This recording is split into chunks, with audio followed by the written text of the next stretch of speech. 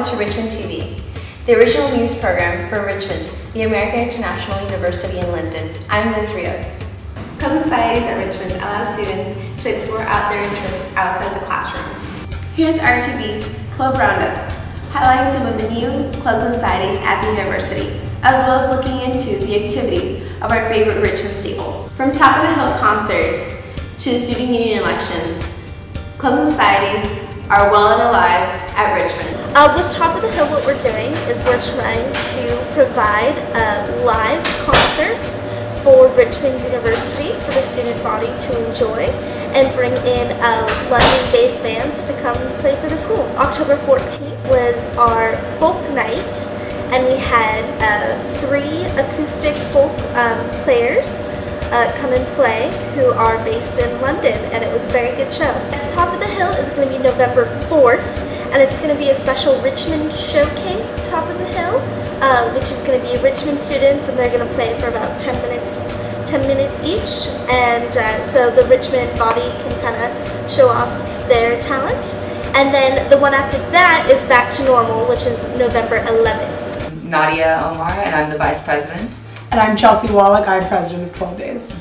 We are putting on productions uh, completely student run and it's basically giving the students a venue to um, explore theater and explore all, all, performance aspects. This semester we're planning on doing a one-act festival um, including Chekhov's The Proposal, um, He Said, She Said, which is another short one-act, A Matter of Husbands, another short one-act, and a monologue entitled speed dating with a, a, a divorce lawyer. Yes. You're not going to be in our shows, come and see them. I am David Allen Hunter and I'm the founder and I guess coordinator of the debate team. With the debate team, we practice both the procedural and little nitpicky parts of debate, structuring a speech and the logic of it, as well as teaching people how to speak in front of an audience and how to master rhetoric.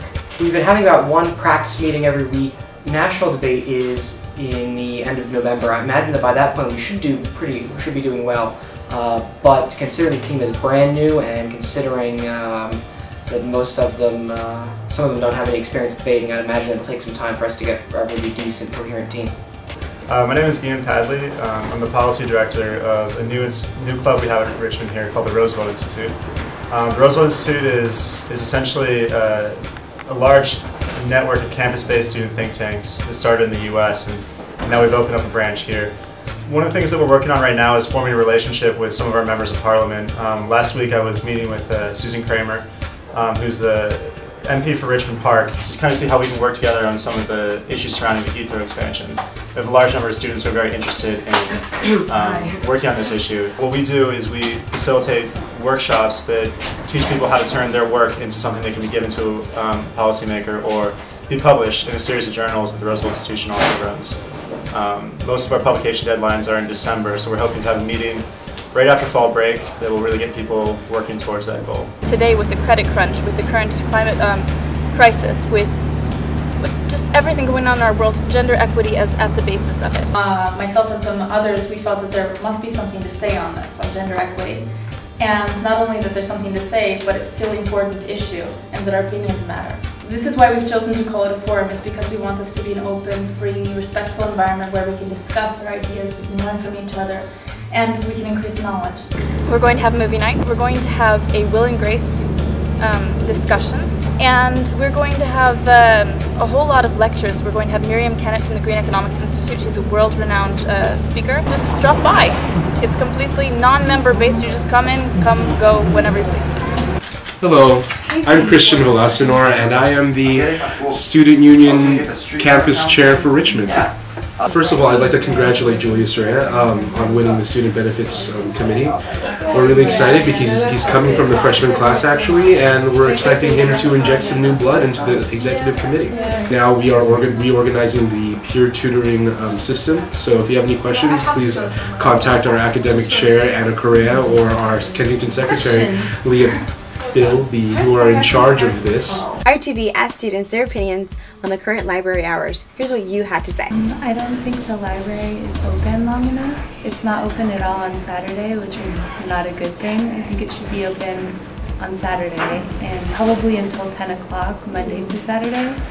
And I know it's open late on Sunday, but that's not enough when it's completely closed on Saturday. I can't study at home because I'm too distracted. So basically the only time that I get some real studying done is at the library. Uh, this is my first time in the library, um, but I believe that um, if I were to use the library more, that the hours should be later because um, I know at my home university it's open till midnight, Monday through Friday, and open on Saturdays until like 6 and Sundays until like 11. So that works out pretty good for me at home. I don't use it that much. I just Google the things that I need to know. I think it's a great place to get information, but um, since we have internet, it's Right. easier to access from anywhere. Here's what Res Life and Student Affairs have been up to. I'm having a blast at Hampton Court. It's just a great feeling, or walking in the same bedrooms as the, what they slept in, or this awesome garden behind me, and going to, or going towards another room and there's a theater production like right there in front of you. It's an amazing time. The Alumni Walkway is up and running at Richmond, courtesy of Alumni Affairs and Community Service Club. Here's a look at the opening ceremony. The Alumni Walkway is a project started by the Community Service Club, um, and basically it's just a way to get alumni to leave their mark on the Richmond campus. Um, it's a way to show that they still want to be involved with Richmond. Um, all the proceeds from each brick that is bought goes to an alumni scholarship fund. The Community Services Club last year in 2008 came up with this idea, and Denise Doremew was then the president, and Ashley Baronet, now president, was the vice president. When we planned this whole walkway, the selling of the bricks and then the laying of them, we agreed that there needed to be a ceremony. The ceremony was very small. Um, there were only a few people there, and so basically it was just the unveiling because it was the first laying down of bricks. There's an order form online. Um, the first, the cheapest brick is 75 pounds. The most expensive, I think, is 150 pounds, and that comes with the school crest and your name or whatever message you want to put on it. It's it's really important to have alumni, even current students, to want to leave their mark on a place that meant so much to them. Please think of doing this to show your appreciation to yourself of the years at Richmond and the specialness of the Richmond experience, which is, after all, unique. There is no other institution in the American system, and there's nothing quite like it even in Britain.